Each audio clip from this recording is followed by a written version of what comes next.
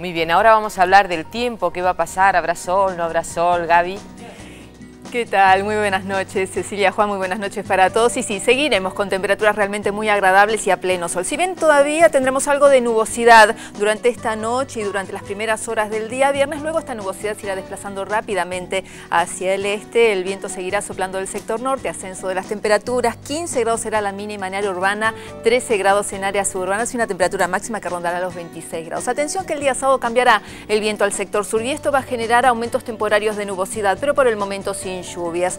No hay probabilidad de lluvias por el momento. 16 la mínima, 26 grados será la temperatura máxima. El día domingo, con vientos que seguirán soplando del sector este, 26 grados la temperatura máxima y atención que tendremos nubosidad variable, pero hacia la noche del día domingo se espera la probabilidad de algunas precipitaciones. Así que hacia el final del fin de semana ya desmejora el tiempo. En el resto del país, en el norte argentino, desmejoran el tiempo sobre el noroeste, sobre el noreste. Y atención que el Servicio Meteorológico Nacional ha emitido un informe especial porque entre el sur de Corrientes, el norte de Santa Fe y el norte de Entre Ríos, allí durante el fin de semana se van a registrar precipitaciones acumuladas bastante importantes, entre 70 y 130 milímetros. Esto va a suceder durante el fin de semana y ya a partir de mañana desmejora el tiempo prácticamente en toda la región con la posibilidad de tormentas, algunos chaparrones, con la continuidad de elevadas temperaturas máximas de 29 a 32 grados. Sobre el noroeste argentino, allí aumentos temporarios de nubosidad y mucho calor, 34 grados la temperatura máxima en el sur de la región. En la región de Cuyo,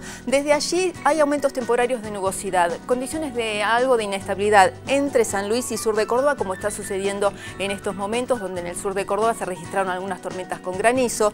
Eh, continuará mañana también con aumentos temporarios de nubosidad toda esta región y tiempo inestable especialmente en el este de Mendoza y en San Luis, pero con la continuidad de elevadas temperaturas máximas de 28 a 30 grados. En la zona centro-oeste, atención que desde el sur de la región se acerca una perturbación y esto va a generar desmejoramiento de las condiciones meteorológicas, especialmente en el norte de La Pampa, centro de Buenos Aires y luego extendiéndose hacia la costa atlántica bonaerense hacia la noche con la probabilidad de algunas tormentas. En el norte de Buenos Aires, sur del litoral, aumentos temporarios de nubosidad, pero con buen tiempo. Recuerden que las tormentas que se registraron en estos momentos en el sur de Córdoba irán hacia el sur de Santa Fe, así que durante la mañana en el sur de Santa Fe posiblemente tengan algunos chaparrones, pero mejorando rápidamente. Y en el sur argentino, allí es importante el ingreso de aire frío y es importante también el viento muy fuerte que soplará del sudoeste en toda la región con temperaturas realmente muy bajas, entre 2 y 3 grados bajo cero, además con la probabilidad de nevadas. En el norte patagónico, en cambio, todavía permanecerá el tiempo bastante cálido, especialmente en la costa de Río Negro, donde allí se anticipan máximas de 25 grados con vientos intensos del noroeste. Como siempre,